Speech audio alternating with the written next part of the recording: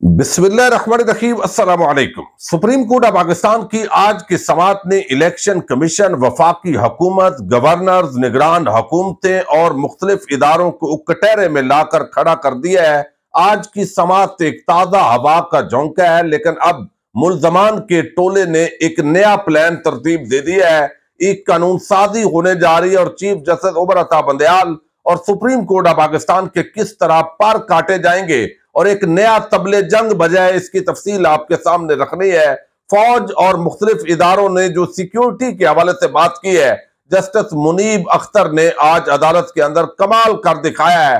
हाफिज साहब के कसीदे आज कौमी असम्बली के अंदर पड़े गए। आखिर इसका मकसद क्या था? और अब ये जो वफाकी हुकूमत और मुलजमों का टोला जिस तरह की जंग शुरू कर रहा है इसका अल्टीमेटली इसको क्या समझना चाहिए और कल की जो सवात है, उस पर इसका क्या इफ़ेक्ट होगा, इस पर हम इस वीडियो में बात करेंगे और मैं उम्मीद करूँगा कि आप समाप्त करेंगे और अपने कीमती फीडबैक से ज़रूर आगाह करेंगे। इस वक्त आप हुकूमती सफों में देखें तो एक हालचल मची हुई है। कल जो जस्टिस मंदोखेल और जस्टिस मंसूर अली शाह के रिमार्क से उनके सहारे एक बड़ी कंपेन की गई मुख्तलिफ़ टीवी चैनल्स पर। उन्हीं पर एंकर ने गुफ्तगु करवाई, उसी को फोकस रखा, उसी को सबसे बड़ी खबर बनाई गई। लेकिन आज जब जस्टिस मंदोखेल ने इतफाक कर लिया तो उसके बाद वो गुब्बारे से हवा फट गई और हमने देखा कि वो तमाम लोग जो बड़े एक्टिव होते थे सुप्रीम कोर्ट की समाज के मौके पर, वो चार चार घंटे ट्विटर से गायब हो गए। और फिर लाकर ऐसा महसूस हुआ कि जैसे मरियम नवाज़ को खुद चीफ जस्टिस को उस कुर्सी से उतार कर उनकी कुर्सी पर खुद बैठना पड़ा है। यानी इस लेवल पर ये मुलजमों की हकूमत है, उसके अंदर अक्सरियत मुलजमान की है और हमने देखा है कि अब मुलजम जब आम उहदों पर बैठ जाते हैं तो जज साहब के कुर्सी पर भी वही बैठने का ऐलान करेंगे। बड़ी अजीब सूरत हाल पैदा हो गई है मुल्क के अंदर। एक तो आपको ये मैं जरा बताऊँ, मरियम नवाज़ कहती है कि इलेक्शन का फैसला करने से पहले इस बात का फैसला होगा। यानी ये नहीं है कि तजवीज है, वो आर्डर दे रही है। वो यानी हम तो रजिया सुल्ताना या जनरल रानी या ये बातें तो हम सुनते थे, लेकिन और उस पर हामद मीर बात भी करते थे, लेकिन कमो बेश ये तो भाई बहुत ऊँचा मामला चला गया है। अब यहाँ जो है, वो कहती है कि इलेक्शन का फैसला करने से पहले इस बात का फैसला होगा कि चार तीन को तीन दो में क्यों बदला गया। ये जवाब दें जी, इसके पीछे मकासद क्या था और इसमें कौन कौन शामिल था? ये भी जवाब देना है आपने, क्या इस आम तरीन नुकते का अहाता किए बगैर ज़ोर ज़बरदस्ती से कानून के खिलाफ फैसले को कालीन के नीचे छुपाकर कोई भी फैसला काबिल कबूल होगा? हारगिद नहीं। तो मरियम नवाज़ ने तो कहा है, जी देखें, जज की कुर्सी पर भी उसे बिठाएँ। वो जो कह रही है, वो अगर होगा तो वो मानेंगे।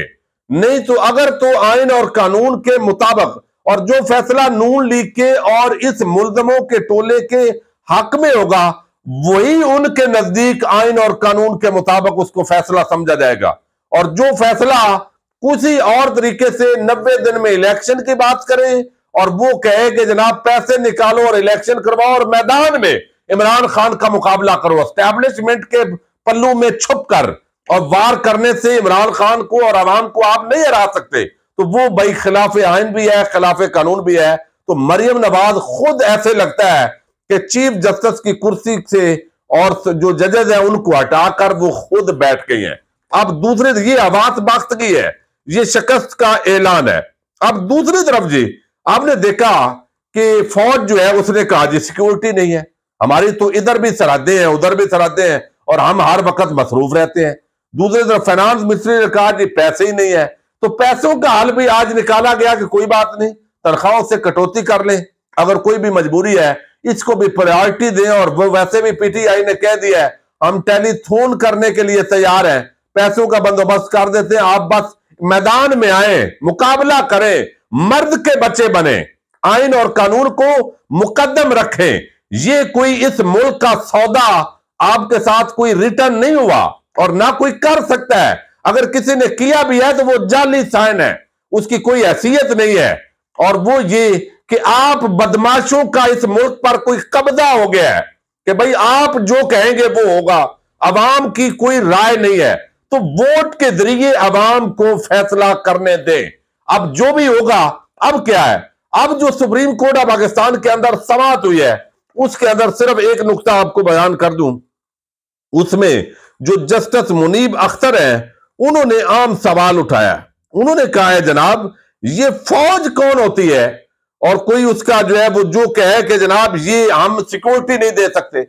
आर्टिकल 245 पाबंद करता है। और उनकी वो ड्यूटी है कि वफाकी हुकूमत जब कहे, वो सरकार के मुलाजम है, वो आका नहीं है। उन्हें पाबंद करता है कि उन्होंने इसके मुताबिक एक्ट करना है। और इस पर उन्होंने बताया है कि इंतबात पर खर्चे वाली बात तो समझ आती है जस्टिस मुनीब अख्तर कहते हैं। आर्टिकल 245 के तहत हुकूमत इंतबात की ड्यूटी के लिए फौज को पाबंद कर सकती है। इंतबात पर खर्चे वाली बात तो समझ आती है कि अलग अलग कराने से ज़्यादा पैसे लगेंगे, लेकिन फौज की सिक्योरिटी ना देने वाली बात मुझे समझ नहीं आती। वो कहते हैं, आइन के तहत फौज की ज़िम्मेदारी है कि इलेक्शन के दौरान ड्यूटी करे। फौज के इंतज़ाम करने में वक्त लगता है और अपनी पोजीशन भी तब्दील करना पड़ती है। ये चीफ जस्टिस ने दरमियान में रेस्क्यू किया है। फिर उन्होंने कहा दहशत गर्दी के दौरान भी इंतबात हुए हैं, जिसकी सबसे ज़्यादा कीमत सियासतदानों ने चुकाई है। और फिर जो है वो तुर्की के जलजले का ज़िक्र किया। तो आज जो बेंच है, वो कमो बेच इस बात पर मुतफिक पाया गया है कि जनाब, इलेक्शन तो करवाने हैं, आइन में लिखा है, आप इधर उधर ये छह महीने नहीं जा सकते। वरना ये सारा। अब उसके बाद जो है वो हंगामी प्लान बी जो था, उसको एक्टिव किया गया। उन्होंने कहा chief justice Umar Ata Bandial justice Ijazul Hasan justice Mazahir Ali Akbar Naqvi justice Munib Akhtar और दीगर जस्टिस मदर जो है उनके खिलाफ हमने कंपेन की, असर ही नहीं हुआ। चीफ जस्टिस ने हमें किसी खाते नहीं लिखा। हमने जो मीडिया के जिस तरह वो जियो न्यूज़ अपने मुलाजमीन उसके एहतजाज कर रहे हैं तनख्वाहों के लिए लेकिन हम जिस तरह हड्डी देते हैं, वो रोज इतनी चीखो पुकार का एक्शन नहीं हुआ और वो आइन पे अड़े हुए हैं। तो लिहाजा अब इनके खिलाफ हमने फाइनल जंग लड़नी है। और अब ये कि जनाब चुके, ये मामला शुरू हुआ था एक सो मोटो एक्शन से। लेकिन इसका इंपैक्ट नहीं होगा। अब ये मिठाइयाँ नून लीग वालों ने वापस कर दिया लिहाजा उन्होंने कहा फौरी तौर पर जो शहबाज शरीफ ने गुफ्तगु की आज, उसके अंदर भी कि जजेस की ऑडियोज भी आ गई है। भाई, आप 16 अरब रुपए के मनी लॉन्ड्रिंग के मुलजम हो। ये अदलिया अगर निज़ाम ठीक होता तो आप यहाँ वज़ीर आज़म की कुर्सी पे कैसे बैठे? यानी यहाँ नब्बे फ़ीसद कुर्सियाँ आपकी पार्लियामेंट की खाली हो जाए। अगर अदालती निज़ाम और हमारा जो प्रोसिक्यूशन सिस्टम है, ये ब्लैक मेलिंग करना कि वो ऑडियो आ गई है। ये एक चीफ जस्टिस को ये इख्तियार नहीं दिया जा सकता। भाई, आप जिस असेंबली में बैठे हो उसमें अपोजिशन है ही नहीं। वो राजा रियाज जैसा लोटा आदमी, उसको अपोजिशन लीडर आपने जाली तौर पर बनाया हुआ है, जिसको टिकट भी उसने आपका लेना है और सियासत तकरीबन उसकी आगे खत्म होने जा रही है। तो अजीब बारलबू उस पर हम बात करेंगे। लेकिन यहाँ पर एक बड़ी आम बात की गई। कहा गया जी, इमरान खान अगर माफ़ी मांगेगा तो मुजाकरात करेंगे। इसको बड़ा हाईलाइट किया गया कि शहबाज शरीफ बड़ा फख्र के अंदर ये बात कर रहा है। लेकिन ऐसी बात नहीं है। शहबाज शरीफ ने तस्लीम किया है कि इमरान खान जिद्दी आदमी है यार मानते ही नहीं है। ये आप सुन ले जरा। तमाम दावतें ठुकरा दे उससे क्या बात होगी? वो शख्स पत्थर का दिल उसमें। वो पत्थर का दिल है तमाम आफरे उसने ठुकरा दिया ये शहबाज शरीफ कह रहा है। अब यहाँ पर उन्होंने कहा जी आर्मी चीफ की तैनाती पर भी बड़ा मसला बनाया इन्होंने मुतनाजा बनाया। हमारे आर्मी चीफ हाफज भी है माशाल्लाह बड़े उन्होंने तमगे भी लिए हुए हैं, यकीनन वो फौज में थे। पहले वो लेफ्टिनेंट जनरल बने हैं तो आर्मी चीफ बने हैं, इसके अंदर तो कोई मामला नहीं है। बाकी होता है इख्तलाफ राय। इख्तलाफ राय तो हो सकता है, अगर चार पाँच जर्नैल है तो वो सारे अहलियत के अहल है, और इनकी दो दिन पहले रिटायरमेंट भी थी तो ये चीज़ें जो सवालात है, वो तो उठते हैं और आज तक उठे हैं। पिछले आर्मी चीफ जो है, उनके हवाले से भी होते रहे लेकिन असल मकसद है नौकरी पेश करना। यानी नौकरी पेश की जा रही है कि आप हाफज साहब भी बचा सकते हैं। अब यहाँ आप देखिए कि इस तरह हुकूमत का अदालती इसलाहत के लिए फौरी कानून साजी का फैसला। हंगामी तौर पर वफाकी काबीना का इजलास हो रहा है जी, और उसके अंदर मुसवदा है और फिर कौमी असम्बली का आज फिर रात को इजलास हो रहा है, और उसके अंदर हमने चीफ जस्टिस उमर असा बंदयाल और सुप्रीम कोर्ट के जो जजेज हैं, उनके हाथ बाँध देने हैं। हाथ बाँध देने हैं। अब इसका वक्ती तौर पर तो आप चीफ जस्टिस उमर अता बंदयाल को टारगेट करेंगे, लेकिन इससे जस्टिस काजी फायद ईसा भी बांधे जाएँगे, क्योंकि अगला चीफ जस्टिस उन्होंने बनना है।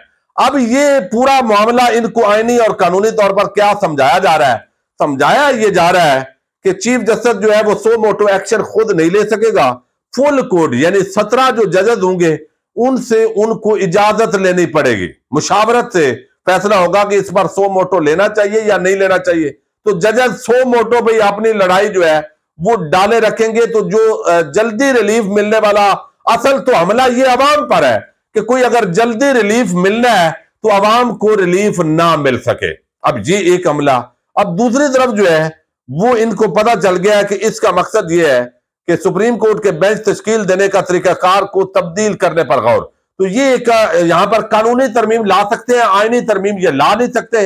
लेकिन अब जो सुप्रीम कोर्ट के अंदर समात हो रही है, वो जो इन लोगों का ख्याल है कि वो आज खुद नोटिस पर हो रही है, भाई नहीं, वो तो लिख कर दो जजद ने दिया था, उस वक्त जो तरीका था, उसको फॉलो किया गया है। तो पिछली कार्रवाई नल एंड वाइड करार नहीं दी जा सकेगी फिर भी।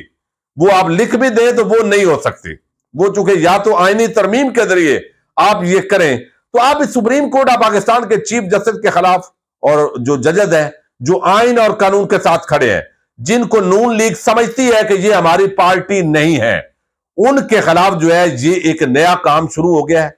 अब ये इनका पास आखिरी अरबा है इस इलेक्शन से भागने का।